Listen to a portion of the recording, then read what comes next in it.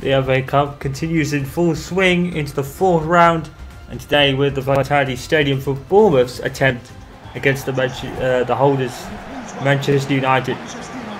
Well, United a double cup run for this week, and uh, they are lost their unbeaten record against Hull City.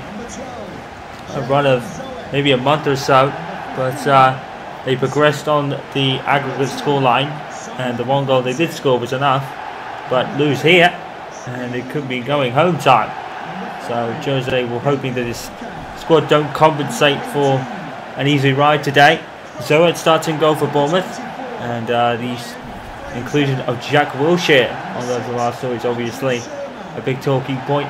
Callum Wilson up front for Bournemouth as usual for Eddie Howe. In the last league encounter between these two, it was a 2-all draw at the beginning of the season. Manchester United, Sergio Romero stays in goal. Sabidu Jones falling at Joe Riley. It's Rudy with Schweinsteiger, Mkhitaryan, Martial and Pogba. It's Marcus Rashford up top as usual for him as well. And uh, return to the Premier League just on the eve of deadline day as Bournemouth will take on Crystal Palace. Here's Pogba. Paul Pogba with a strike and straight at Zoet. It's a good save. Pogba trying his luck here.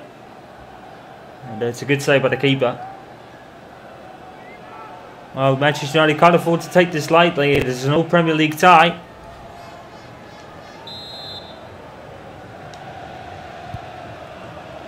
Rooney.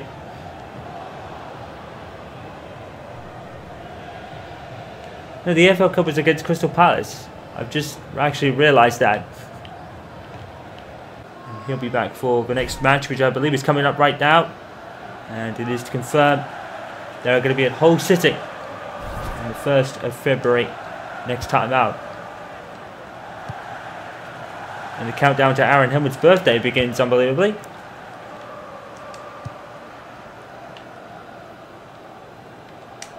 Marcus Rashford! Good save by Zoet. Rashford just powering through the challenge.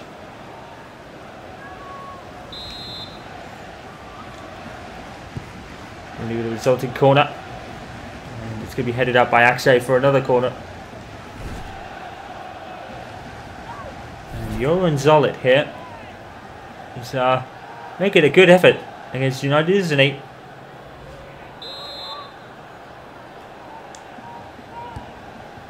another corner.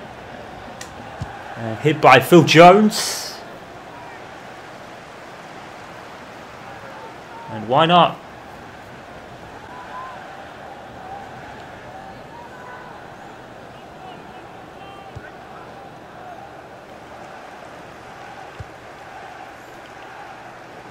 Here's Cook. And Wilshere has to pull it out. A couple of bad balls from Bournemouth in this first half. Gifting Manchester United possession of the ball. Pogba's touch. I'm not sure that's what he intended. Good tackle by uh, Francis, I think it was. Seven place to bullshit. Wonderfully cut out by Schweinsteiger. There's Wayne Rooney. Oh, Wayne Rooney. Absolute stunner from outside the box. 251 for Wayne Rooney. It's another fantastic strike. Outside the box, bang, Zoet, no chance with that one. A stunning strike once again from Wayne Rooney. And he has hit a real resurgence of form, hasn't he, since scoring 249. He went ahead of Bobby Charlton after that. And now he's pulling even further ahead today. And uh, that studs high. That's going to be a booking for that player as they'll go off the pitch. Rado, Callum Wilson off the bar. And Romero comes out. And the ball is everywhere. And finally cleared by Chris Smalling. And everyone at United was looking, where's that ball going? I think even Callum Wilson was a little surprised he even hit the bar. Seven plays it small, uh, Wilson and Smalling gets it away. And Pogba, that's a poor ball. Now, what's the referee going to do with that booking earlier? He's going to book him, and it's Bastian Schweinsteiger. Well, it's not like him to be rash. Let's see. Ah, uh, doesn't get the ball. Oh. Well, he doesn't get the ball. It's a definite booking. Maybe a bit lucky to get not get a red card. But Manchester United have the lead then in half time in the 7 Cup fourth round tie. Stunning strike from the captain Wayne Rooney as usual. And he definitely is back on song, isn't he? And uh, Wayne Rooney doing his captain's job. And he's put his team one up in the third round of the FA Cup against Bournemouth here. It looks to be a long way back, but you never know. That's what the FA Cup's for.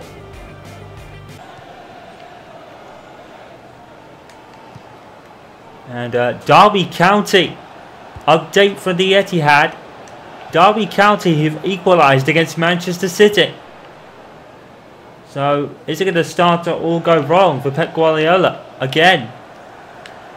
Life at Manchester City has not been kind to Pep at all. With his team languishing in the relegation zone of the Premier League. That's a great move by Mkhitaryan. Bastian Schweinsteiger hits it.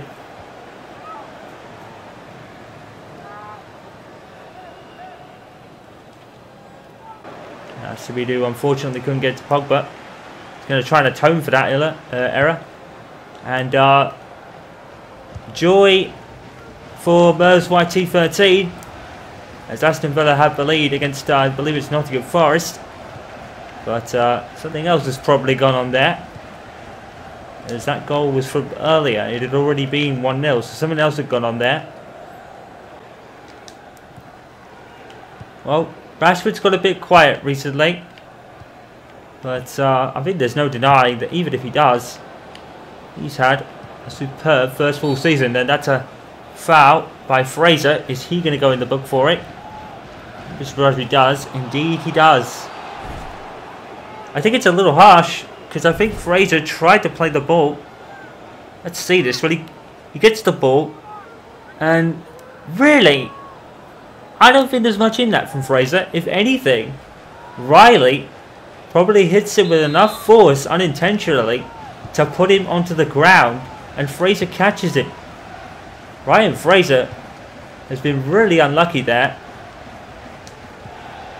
There's no doubt he didn't get the ball and got Riley, but he was into that. He was put into that kind of motion by Riley getting the ball off him. So, I think Ryan Fraser's unlucky there. And here's Pogba. Lays it towards Rashford. And Francis has met with Rashford again. Rashford tries to keep the ball, but Rashford's gone down. Rashford's gone down. He went down very awkwardly there. Is the referee going to stop play? He has. And uh, Ryan Fraser going off for Marc Pugh, the Bournemouth substitution.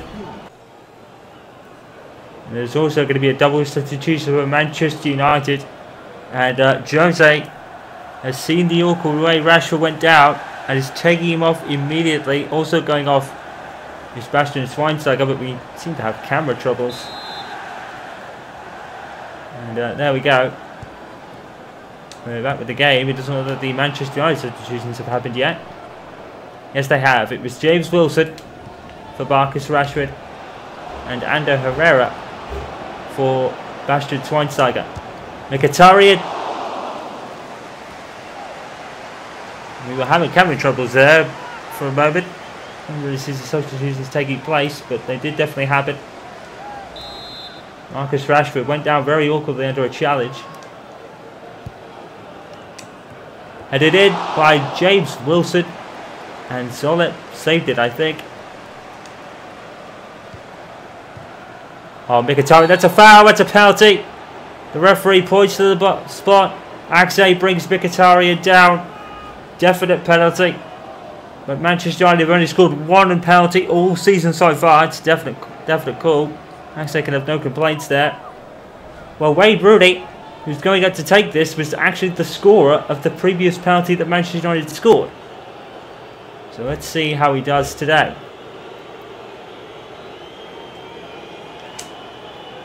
Rooney, and he's put it in. And finally, Manchester United score a penalty. And uh, it's all over now. And uh, I don't think Jose will be signing any other penalty taker than Wayne Rooney because he scored the ones that Manchester United have scored this season. And finally, their poor penalty run comes to an end. And coolly taken from Rooney. Much better than the majority of penalties that United have uh, taken this season. Couple going really wide from Zlatan. And all the rest that Aaron Henwood took have been denied by the goalkeeper, namely Jack Butland.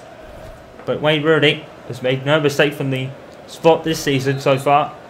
And he's put this game all beyond doubt. Bournemouth nil, Manchester United 2. And a comfortable win for Manchester United in the end. Bournemouth posing very little threat in the second half. And uh, another strong performance from Jose Mourinho and a perfect comeback to the loss at Hull uh, Crystal Palace rather. I keep getting my teams wrong. But Manchester United progressed to the next round of the FA Cup and Rooney made the game all his own, didn't he? And even put an end to Manchester United's penalty row, uh, woes, at least for now. Bournemouth nil, Manchester United 2. Let's have a look at the scores around the FA Cup today. Barnsley and Swansea City ended in a 2-all draw. That'll go to replay at the Liberty Stadium. Manchester United being Bournemouth by two goals to nil. Burnley have uh, finally got a bright spot in their season as they progress past uh, Bristol City by a goal to nil. Palace have put uh, behind them the elimination for the EFL Cup, progressed in the FA Cup against Sunderland, winning by two goals to nil. Liverpool, or Everton rather, scoring with 1 0 win against Fulham. Liverpool lost to Stoke City. Mark Hughes uh, progressing through there. Manchester City eventually progressed despite a scare at Derby County. Pep Guardiola gets something to cheer about this season finally. Norwich and Leeds ended in 1 draw. That'll go to a replay at Elland Road. Norwich uh, joy for Mers YT13 as his team Aston Villa beat Forest by a couple of goals to nil. QPR West Brom ended 1 0. West Ham lost to Arsenal by two goals to nil. And Wolves eliminated by the champions Leicester. With just minutes to go on deadline day, the winter transfer window, let's have a look at all the signings and sales of this window. Arsenal have nothing to report as uh, what usually is the case for the big teams in this window. Not a lot of big teams do business this time of year. Bournemouth have bought uh, Gigi and Kubo in. No sales or sales for Burnley or Chelsea or Crystal Palace. Everton have bought Silva. And uh, Hull actually have let go of Hernandez, which could be a big thing with their match against Manchester United coming next. The champions have been on a massive spending spree with the likes of Marcelo, Sobiek and Adrian coming in. As Liverpool have also been a bit busy. They've let go of Sakho and Lallana. Sakho going to Barcelona of all teams. Transmere and Eki are the ones coming in. Manchester City and their uh, free fall season has forced Pep Guardiola into some massive uh, buying and he's bought Bojan and Flasetti in and let go of no one which could be massively important in their bid to avoid the drop. Funny that we say that about Manchester City this early. Uh, we all know about Manchester United buying in Ashley Fletcher on loan. They also get let go of their fourth choice goalkeeper Henderson back on loan. Carvalho comes in with Ackerman Jack Grealish for Middlesbrough. For Southampton, they've brought in Heckerson and Marconi. And uh, Spurs were the team that bought there, and they also bought Hector Herrera as well. Stoke City brought in Hernandez and Deeney uh, joined as well from Watford. Bojan goes to Manchester City. No buyings or sellings for David Moyes. Steyn goes in for Swansea City. Deeney leaves Watford as we just said. And Hahn goes in for West Brom. Ashley Fletcher is obviously on loan from Manchester United from West Ham United. As Manchester United face Hull City today, They'll be hosting, hoping for a much easier ride than they had at the KCOM Stadium earlier in the season when we had that epic 4-all draw and ended in Manchester United just grabbing a point right at the end of the game. As we approach the title run in now, we have entered February and Manchester United have a four-point lead over Crystal Palace who have jumped in second in front of Arsenal and this table is looking just as amazing as Leicester City's title win last season but uh, a familiar name is back at the top. As the transfer speculation goes on about David De Gea, he still gets the nod in front of Sergio Romero in goal. But there's been a rather interesting rumour surrounding Daley Blind, who handed in a transfer request on deadline day. Nothing could get sorted, so Blind is going to have to stay at least until the summer. But uh, nobody around the Blind camp has confirmed or denied that, so it's just pure speculation at this point. Alright, so Lee Probert is about to start this match. Once again, we don't seem to have any lineups appear on the screen. But for Manchester United, they are boosted by the return of Eric Bailly from his stint in the Africa Cup of Nations. He's with Luke Shaw, Matteo Darmian and uh, Gerard Piqué in defence today. The midfield is boasted by the return of Aaron Henwood from his uh, brief stint away with the next strain. And he's with Herrera, Memphis and... Uh, Juan Mata. And up front, of course, is Zlatan Ibrahimovic with Paul Pogba playing behind him, and here he is. Snodgrass having a shot deflected off Memphis for a Hull City corner.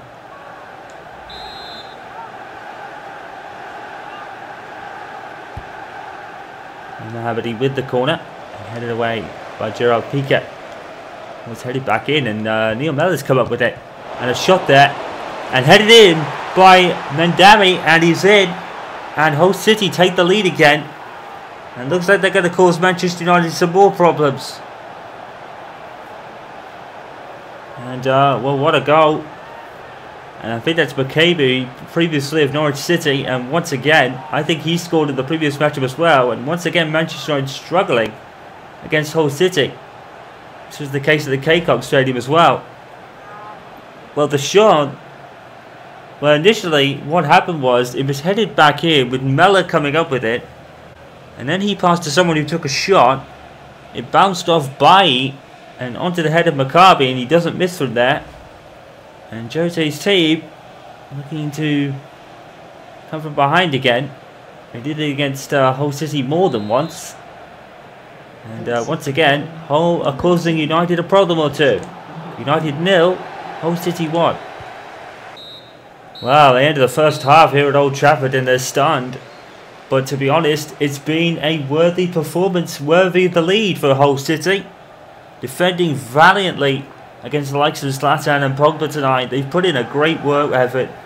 And uh, the goal from uh, Mbokani, who had a, probably a bit of luck about it, but it's a superb skill from uh, a header into Neil Mellor, and then his shot deflected onto Mbokani's head. It's a goal. Since then, Hull City have been a brick wall Manchester United nil, Hull City 1.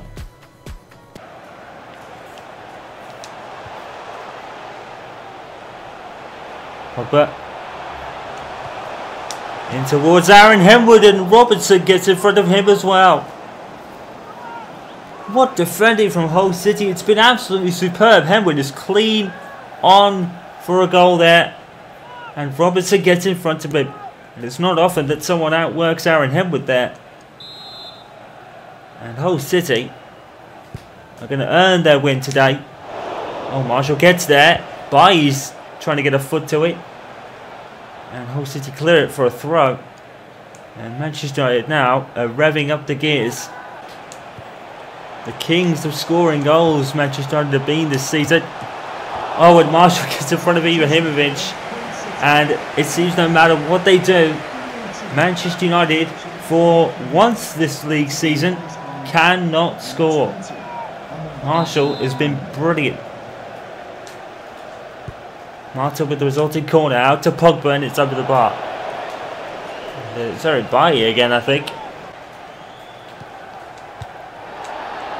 Oh, that's a poor tackle from Luke Shaw, and he's going to get booked for that. Manchester United losing their cool here.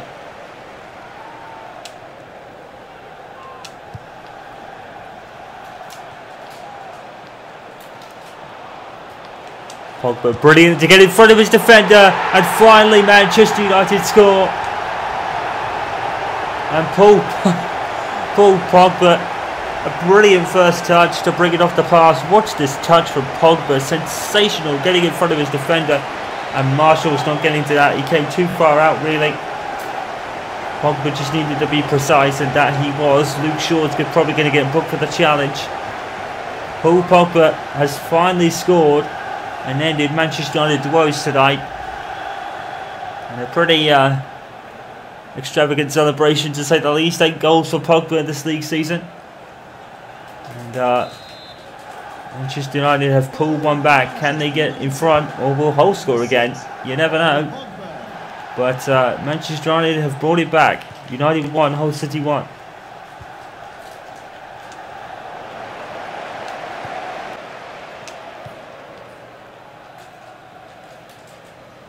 Pogba. Oh, sensational. Paul Pogba. All the way. And a great save from Marshall. And it's just gone wide off him. Paul Pogba starting to come alive in this second half. And Marshall has been rained with shots all day. And he's pretty lucky not to have an own goal to his name there. But Hull will have uh, Marshall to thank if they've uh, going to earn anything for this game tonight. After into Pogba. Pogba tries to break it down. Every time Manchester United appear in the box, there's a Hull City man there. Aaron Henwood trying the extravagant. Why not? And uh, he's certainly back, isn't he? Manchester United substitution. Of course, it's going to be Marcus Rashford coming on. And Zlatan Ibrahimovic will make way. It's the kind of situation Marcus Rashford lives for. And he's coming on again.